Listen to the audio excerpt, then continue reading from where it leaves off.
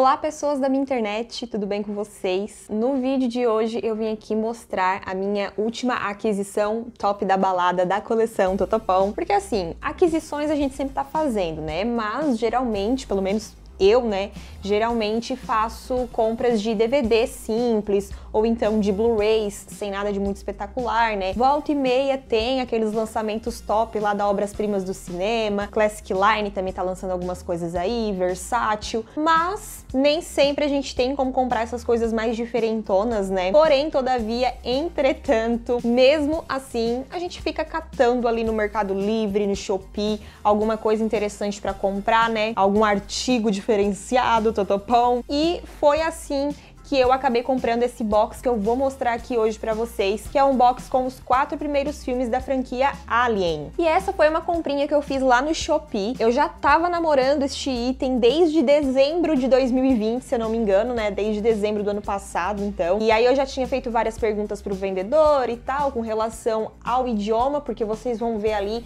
que ela não é uma edição nacional, pelo menos ao meu ver aqui parece uma, uma edição da Espanha ou alguma coisa do tipo mas enfim. Vocês vão ver maiores detalhes aí daqui a pouquinho, tá? E eu vou mostrar também o que o vendedor aqui me mandou de brinde, porque ele vende alguns itens diferenciados também para quem coleciona steelbooks e também outros itens, né, como aqueles boxes da Obras Primas do Cinema que tem o estojo mais fininho, beleza? Então é isso, se vocês gostarem do vídeo, não esqueçam de clicar aí no joinha, deixe aqui nos comentários o que você achou e vamos lá!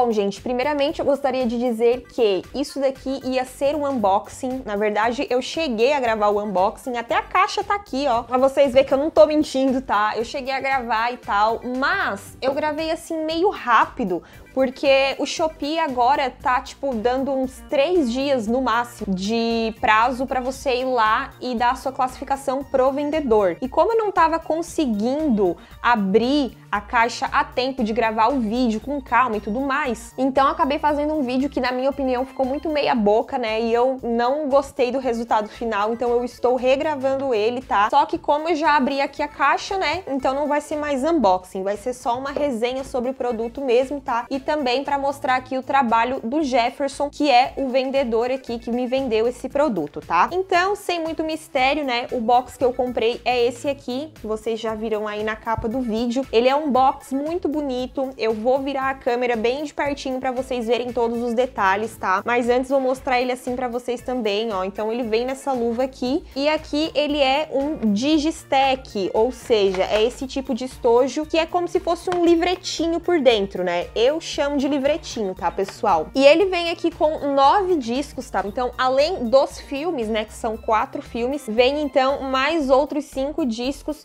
com extras. Alguns dos extras são versões estendidas do filme, né? Então vem a versão do cinema e vem a versão estendida. E também tem outros extras, né? Que eu já estive bisbilhotando. Eu não cheguei a parar para assistir todos eles, até porque são muitos, né, gente? E eu tô gravando isso aqui um dia depois de ter pegado o produto na mão, mas é uma edição assim muito top da balada. E como vocês podem ver, tá escrito tetralogia, né? Não tá escrito quadrilogia como a gente chama aqui no Brasil. E quando eu virar aqui a câmera, vocês tão, também vão conseguir ver que aqui tá tudo escrito em espanhol. Mas, porém, todavia, entretanto, ele tem não só legendas em português, como também o idioma dublado, né? A dublagem em português, que inclusive é a mesma dublagem que eu já vi em outras edições, tá? O meu marido tem a coleção Alien ali, ele tem todos os filmes, incluindo também aquele Prometheus. E eu assisti os primeiros filmes já com esses DVDs que ele tem, é a mesma dublagem. O DVD que ele tem é aqueles DVDs bem simples que vocês encontram direto aí na Americanas, por exemplo, né?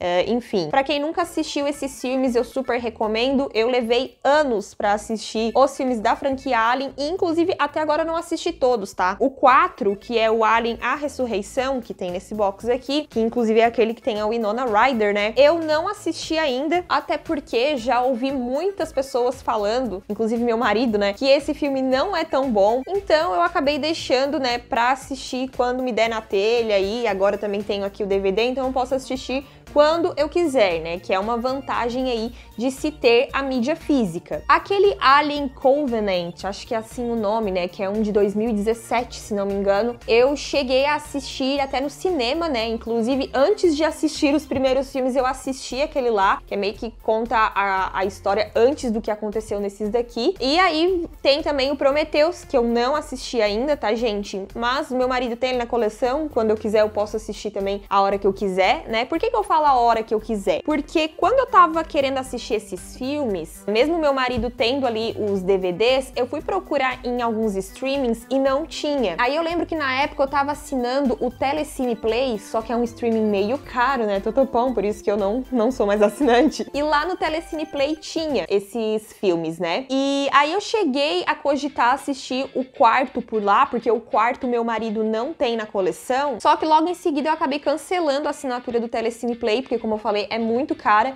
Então, fiquei, né, a ver navios. Fiquei só na vontade. Que na verdade não era uma vontade tão grande assim, porque como eu falei, todo mundo fala que esse quarto filme é bem ruim, né? Mas enfim. E outra coisa que eu quero mostrar aqui para vocês, que o Jefferson me mandou, que inclusive eu vou deixar o link da loja dele no Shopee aqui na descrição, tá, pessoal? Me mandou essas capinhas transparentes aqui, ó, que servem tanto para steelbook quanto também para esses boxes aqui, como eu falei, né, com esses estojos mais fininhos geralmente lançados pelas obras-primas do cinema. Para quem acompanha o canal da Josi Vargas, ela já fez unboxing desses produtos aqui, que ela também conseguiu com o Jefferson. A Josi sim tem uma coleção de steelbooks de respeito, né? Então lá no vídeo ela mostra ela colocando as capinhas bonitinhas e tal. Eu só tenho um steelbook, tá, gente? É esse aqui do Coringa, que inclusive tem unboxing aqui no canal e tem também eu comentando um pouco sobre o filme. Então, o Jefferson me mandou essa capinha aqui que é pra steelbook eu já coloquei aqui, então como vocês podem ver, ó, é uma película protetora, né, para não deixar o produto assim à mercê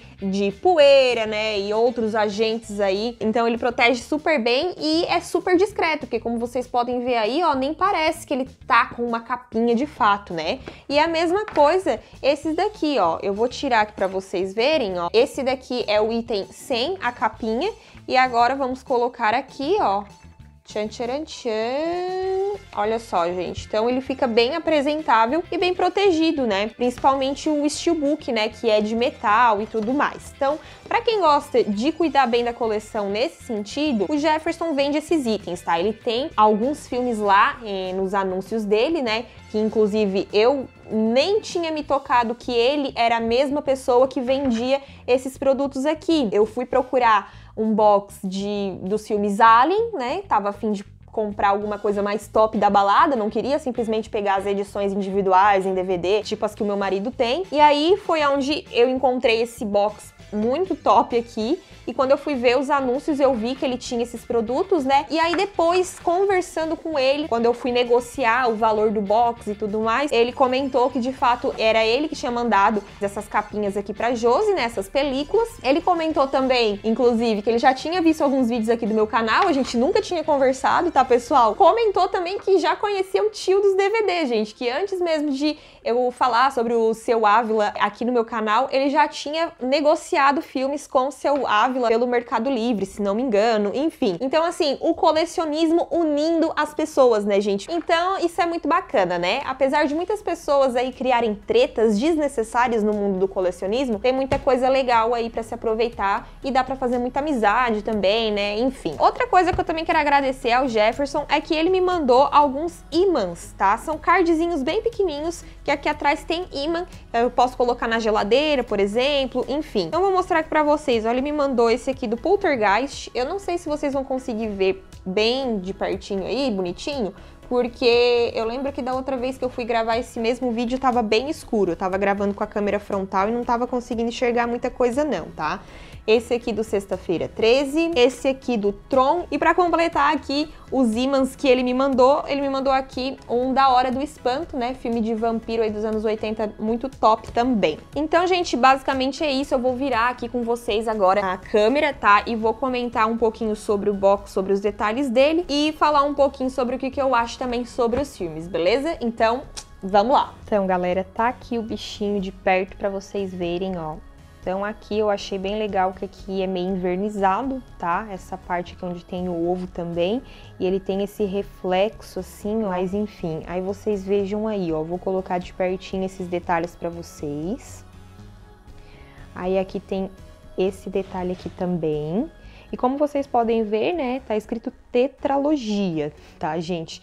Ele vem com esse defeitinho aqui, ó, ele veio com esse defeitinho que eu acho que eu vou colar aqui, passar uma fitinha claro, bem discreta, né, para não ficar feio. Então aqui, esses detalhes aqui. E aqui atrás também, ó, ó, não sei se vocês vão conseguir ver o reflexo, ele é muito bonito, tá? Pessoalmente ele é bem mais bonito que por vídeo, pelo que eu tô vendo aqui.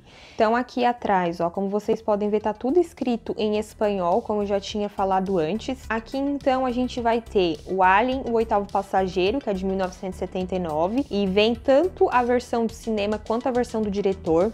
Isso também ocorre nos outros filmes, tá, gente? Então, como falei, além de outros extras, né, é, tipo, que teve por de trás das cenas, produção, pós-produção, enfim. Mas tem também a versão de cinema e a versão estendida dos filmes, tá, gente? Então, Alien o Resgate, né? Que aqui tá como Alien o Regresso, El Regresso.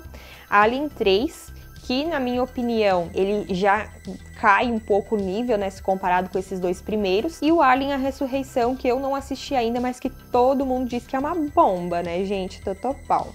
Então vocês vejam aí, é uma edição de 2004. Vamos ver aqui se tá dizendo alguma coisa. É, é isso aí, gente. Aqui ele também, eu percebi que ele tem esses detalhes meio descascadinho. Eu até achei que isso aqui fosse detalhe do box mesmo, mas pelo que eu tô vendo, é, ele tá descascando mesmo, né? Eu achei que fosse proposital, mas não. Ele tá perdendo esse brilho, né? Então isso foi uma coisa que eu só fui reparar depois, né? Mas enfim.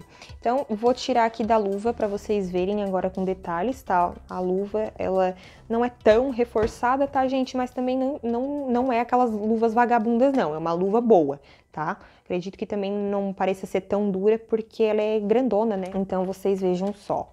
Olha só que legal, gente. Eu achei muito legal essas cores, tá? O reflexo que a cor dá, aqui esse verde com amarelo. Isso aqui foi algo que me cativou quando eu vi esse box pela primeira vez. Eu achei ele lindo, maravilhoso por conta disso e por conta desse Digistack verde, né, gente? Olha só que legal muito top. Agora eu tenho uma reclamação, tá, pessoal? Aqui, então, como vocês podem ver, ó, é um filme, né, o primeiro filme, depois aqui o disco de extras do primeiro filme. Aqui seria o segundo filme e o disco de extras do segundo filme. Aí agora, eu acho que é agora que, vou, que vocês vão ver. Vamos ver.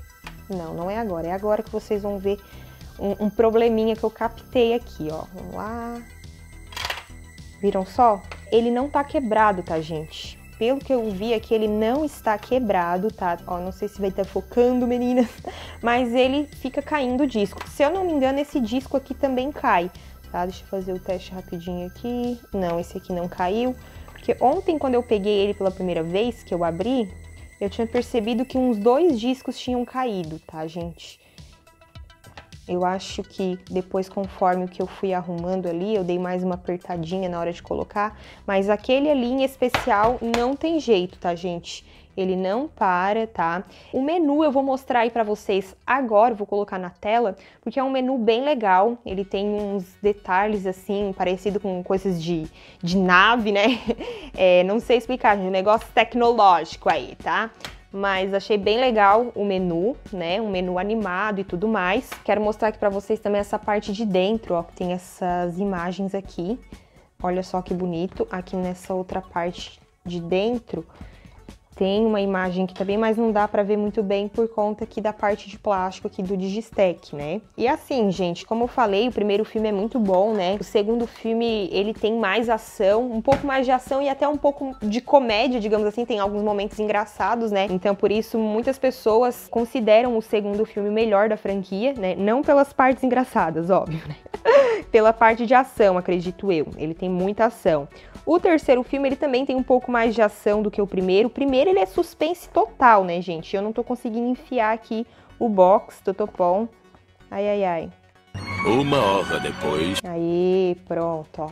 Então, o terceiro filme, o primeiro filme, ele é suspense total, né? Se for comparar com os outros. O terceiro filme, ele ele cai um pouco na qualidade, na minha opinião, pelo fato de ter alguns efeitos especiais que eu chamaria mais de defeitos especiais, né? Eu não curti muito. E o quarto filme vai ser uma surpresa aqui para mim, né? Porque eu não assisti ainda. No primeiro filme, inclusive, eles estão numa missão, né? E aí eles veem que tem um outro planeta lá ali próximo que eles resolvem pousar, digamos assim, né? Parar. E aí é onde começa as, as merdaradas, os merdaredos, tudo, porque, como eu sempre digo, né? Cutucou o alien com vara curta, literalmente, porque o cara vê um ovo lá de alien, né? Começa a cutucar e leva o alien para dentro da nave deles, né? Sem querer querendo, digamos assim. Então, por isso que o nome do filme acabou sendo O Oitavo Passageiro, que na verdade não é o oitavo, né? A gente vai analisar bem, seria o nono, né? Porque dentro da nave tem um gato também, né? Do Topão. Aí no segundo filme, que é o Alien O Resgate, passam-se alguns anos, né? E aí eles acabam voltando lá para aquele planeta porque eles descobrem que tem uma galera colonizando aquele lugar. Só que eles tentam ir lá para salvar o pessoal, até porque os aliens estão tomando aquele lugar e tudo mais.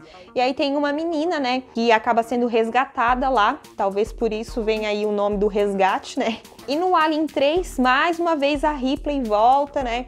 Para um outro lugar, dessa vez uma espécie de nave prisão, que tem uns prisioneiros lá e tal, e acaba se infiltrando um alien dentro daquela nave de novo, né, Totopão, e eles têm que exterminar esses aliens e tudo mais. E nesse filme, não vou dar spoiler, né, não vou dar spoiler, mas tem um personagem que morre, né, uma personagem que morre, e aí talvez por isso é o que dá o gancho aqui pro nome do quarto filme, né, A Ressurreição, porque se não me falha a memória, pelo que eu fiquei sabendo, nesse quarto filme, eles meio que ressuscitam, entre aspas, né? Ou criam um clone dela ou alguma coisa do tipo, tá, gente? Então, basicamente é isso, gente. Tô muito feliz com a minha aquisição, porque esse ano eu quero dar um upgrade na minha coleção. Eu não quero ter apenas itens simplórios, né? Eu quero ter uns itens mais top da balada, assim. Então, às vezes vale a pena a gente gastar um pouquinho mais, mas ter um item topzera, né? Então, é isso aí.